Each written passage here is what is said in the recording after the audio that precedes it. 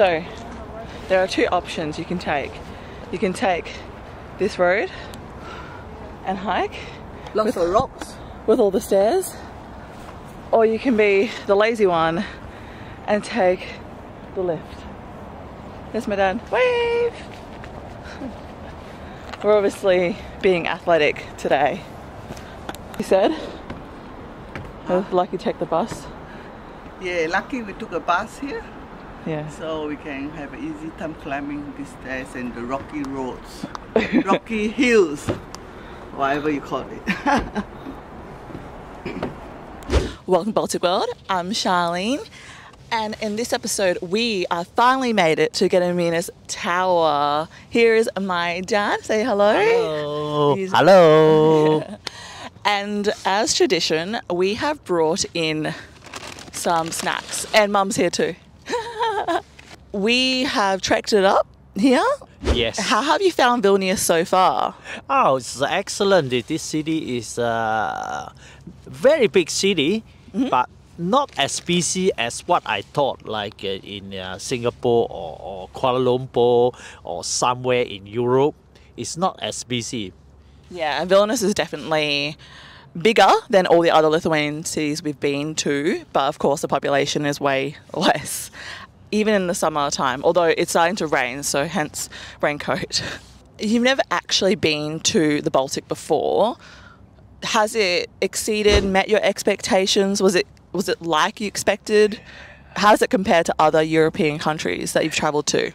I, I would thought it looked like a rural area and no building at all, like forests and still underdeveloped. Oh, But- really? Why is that? Why did you think it was underdeveloped? Oh, we, we never heard about this uh, Baltic uh, uh, world or Baltic countries. So, uh, but at the time when I arrived, wow, uh, something that different. It looked like a lot of uh, place been developed, and the road system. They, they, I think they uh, make a very good road system, and all they I think quite organized. Yeah, it's funny the fact that there are some technologies here that we don't even have in Australia. For instance, your bus system is excellent. We don't have an app, we have to use old fashioned cards, and you can actively track your buses where we have to kind of guesswork. So there's a lot of different innovations here in Vilnius and Lithuania and broadly the Baltic that we just don't have. Yeah, I agree with that. Um, but a lot of old buses look like uh, Second World War buses, uh, still around on the city. I don't know whether they want to keep it as as uh, Heritage? heri- heritage. Okay, so I want to take this opportunity. We have some snacks. we basically went to Iki and I asked you guys for recommendations and I got a few. So we've got these. I'm pronounce them really badly. Link su chai. These ones. They're like mushroom, chocolate mushrooms. Do you want to open this one? Yes. We went to Trakai and it was beautiful. Although this is the first summer I've been to in the Baltic, and man, it gets hot. Your insulation is so good. Oh, Oh great. wow! Have a try. Look at the mushroom. It's so cute. I don't know if they're for children or probably. Do you want to try one? Yeah. Okay. Why not?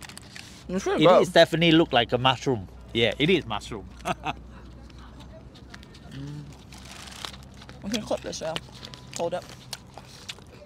yeah, not too bad. Got the biscuit stuck on the bottom, and mm-hmm. with the mushroom head, Yeah. there a bit of chocolate on top. I can imagine this be at parties. Hmm.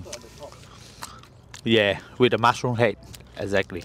It's pretty early in the morning, so we're basically having chocolate for breakfast, but that's okay. We're on holiday.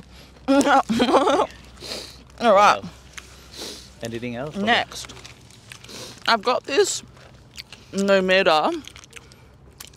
I think it's chocolate. Maybe I just bought a bunch of dessert without even realizing.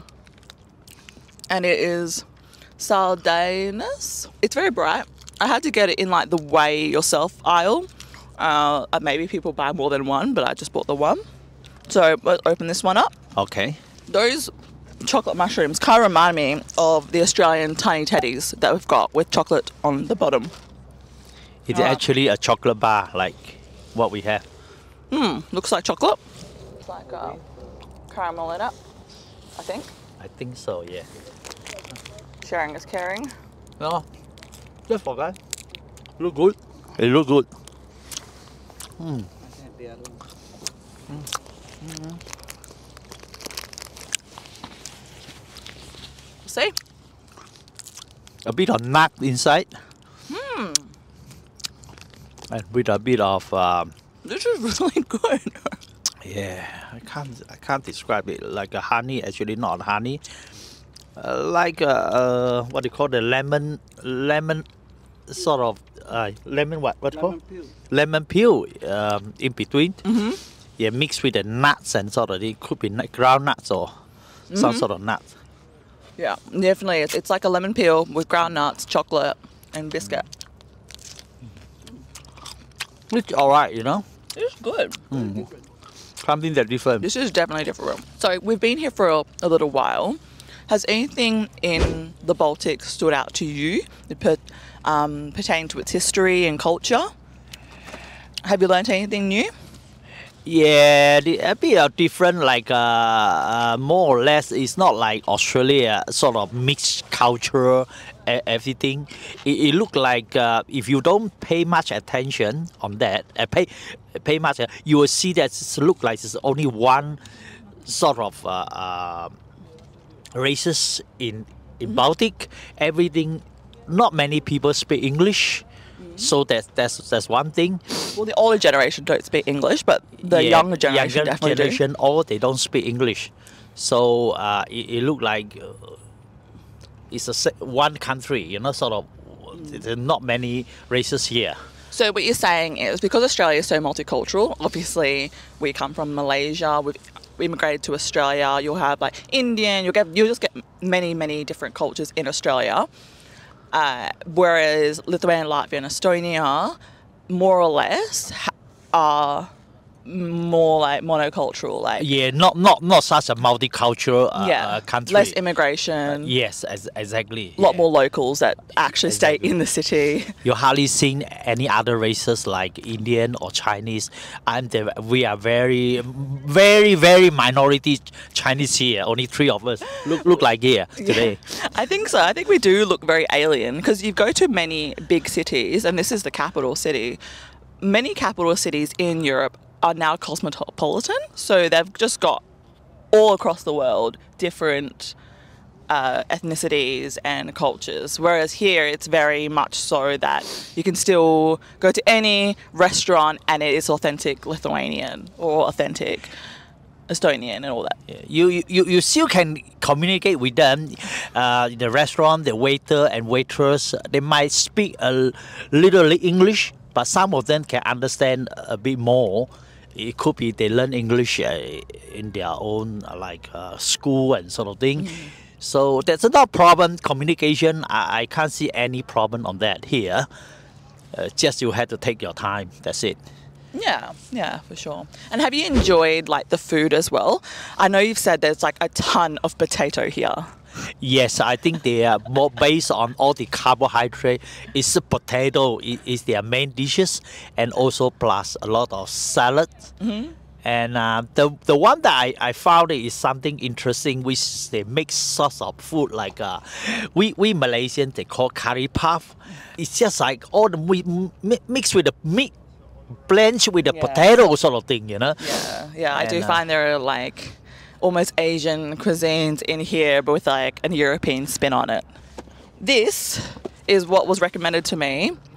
Skalshus is the tree cake. So people have said that this is something that many Lithuanians eat during Christmas time. And how they make this is like they have to put it on a very high heat and then they slowly like drip the the mixture onto like this long pole. Uh, so open this up for me. Okay. This was the smallest one I could find in Iki. You can get massive tree cakes. Oh, it's so cute. Well displayed, it, you know. Yeah. Oh, so cute.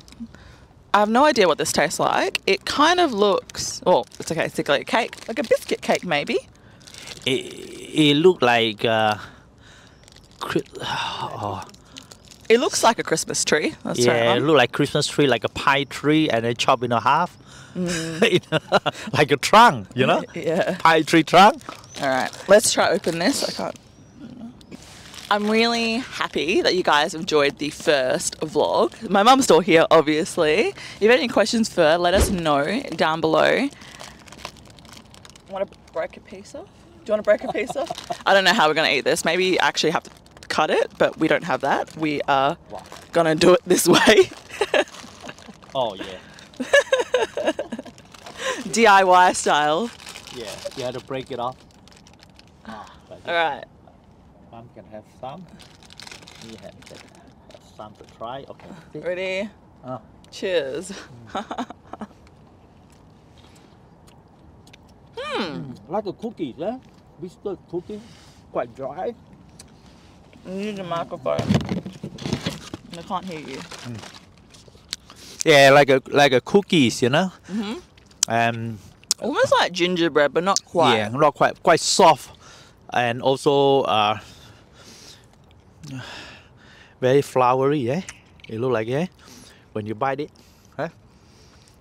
It reminds me of like a really dense cake. But it is like a cookie. It's definitely cookie, but not as hard as a cookies. It's a bit soft. Do you have this with anything? I feel like I want to dip it in something. Like more chocolate or something. Mmm. Pass the mic to mum. Yeah, thank you everyone for uh, watching and uh, comment on our videos. And it, actually, it was my first time, and it's quite it's not easy to do it, as you know. it, it's pretty um, nerve wracking. Try to t- tape something on the camera. Yeah. She's an absolute natural. So, and your comments are so kind.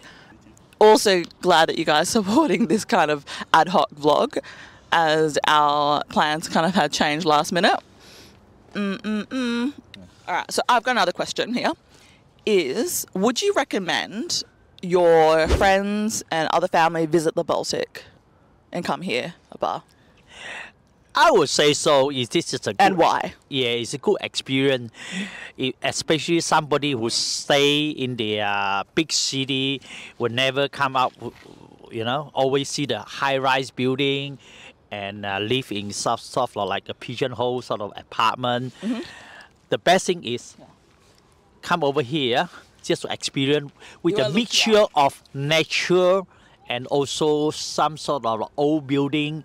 So you can learn a lot of things here, especially the history and all sort of thing. Okay, so we've talked about a lot of positive things, and now I'm gonna keep going, make it spicy. Is there anything that you you don't like about traveling here? Don't like the traveling here.